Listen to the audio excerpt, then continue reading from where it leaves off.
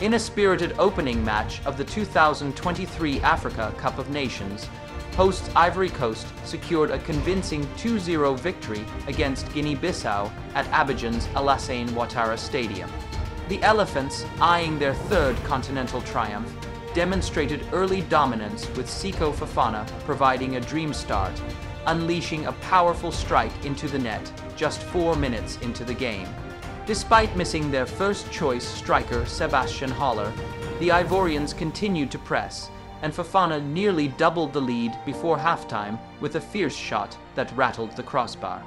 Guinea-Bissau's Mama Balde had a golden opportunity in the first half, but his effort went awry, and a crucial save by Uperine Joko denied Fofana a second goal.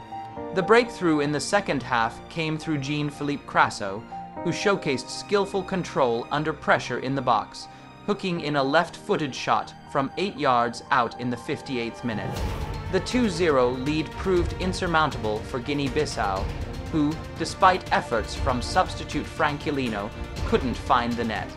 Ivory Coast's victory was not only a strong start to their AFCON campaign, but also reflected the benefits of the tournament's six-month delay, allowing the hosts to finalize preparations at a total cost exceeding 1 billion. The absence of Haller did not hinder the Elephants, with Fofana stepping up as a key playmaker. The Djurtus, qualifying for their fourth consecutive AFCON, will be disappointed with the loss, but look ahead to future opportunities in the tournament.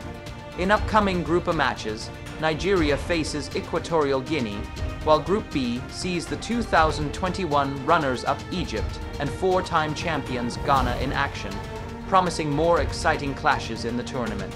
As Ivory Coast pursues continental glory, their opening triumph sets a positive tone for the challenges that lie ahead in the competition.